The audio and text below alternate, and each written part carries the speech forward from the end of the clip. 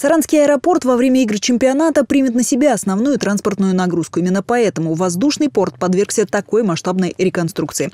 Министр транспорта России Максим Соколов авиакомплекс начинает оценивать с международного терминала. Корпус не такой нарядный, как терминал для внутренних рейсов, потому что изначально задумывался как временный. Но сейчас стало понятно, при новейшем навигационном оборудовании Саранский аэропорт в состоянии принимать международные рейсы на постоянной основе. Да. Я надеюсь, что сделаем, Максим. Да, что международные направления тоже будут отсюда летать Спасибо. и прилетать. Спасибо. Чуть позже Максим Соколов подтвердил журналистам это решение. Мы сегодня обсуждали этот вопрос с Владимиром Дмитриевичем, с руководством республики, и я считаю, что э, после э, работы э, межведомственной комиссии, которая начнет здесь работать буквально на следующей неделе, будут совместно выработаны решения, и эти решения будут обеспечены источниками финансирования, которые все-таки позволят Саранску сохранить международный терминал для дальнейшего развития как аэропорта, так и, как я уже говорил, туристической привлекательности всего региона. Внутри международной части аэропорта уже все готово.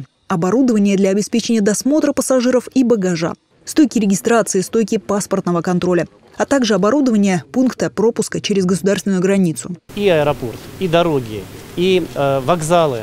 Это станет все наследием для жителей республики, для гостей, туристов, прибывающих в Мордовию.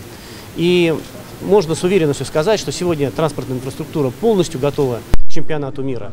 И качество этой инфраструктуры э, заслуживает самых высоких оценок. Из международного терминала к основному Максим Соколов и Владимир Волков отправляются на автобусе. По пути говорят о возможностях аэропорта, которые предстоит еще расширять. Министр транспорта предупреждает, скоро в Саранск приедут коллеги из Красноярска. Город стал организатором универсиады и сейчас готовит свой аэропорт к реконструкции. Владимир Волков дает поручение министру показать и рассказать все в подробностях.